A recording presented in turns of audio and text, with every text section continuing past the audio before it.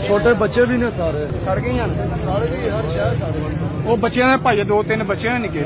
दोस्तों, जो वीडियो आप स्क्रीन पर देख रहे हैं, ये हमारी मुआशरती बेहिसी की एक सुलगती दलील है, जिस मुआशरे में चंद टकों की रिश्वत के बदले कवानीन की धज्जियाँ बिखेरने की इजाज़त दे दी जाती हो। उस मुआशरे में मासूम फूल चंद लम्हों में एन सड़क के बीचों बीच राख का ढेर बन जाते हैं। एक बड़े शहर की मेन शहरा पर हमारी मुर्दा दिली के हाथों कत्ल होते ये इंसान तादाद में एक नहीं, बल्कि दस से भी ज़्यादा है। माओ की गोदे वीरान हो गई, बाप की नज़रें बच्चों की राहें तकती रह गई। ये वाकया गुजरावाला के इलाके राहवाली में पेश आया, जहाँ पर गैस सिलेंडर फटने से एक वैन में आग लग गई। इस वैन को पीछे से एक दूसरी दूध ले आने वाली वैन ने हिट किया और चंद ही लम्हों में हज़ारों खौफ और दर्जनों इंसान आग का ईंधन बन गए। ये वाकया एक वाकया नहीं है, इस तरह के वाकयात आए दिन पेश आते हैं। हमारी बेहिसी, हमारी मुर्दा दिली और हमारा अपने मफादात से हटकर किसी भी मौजू पर आवाज़ ना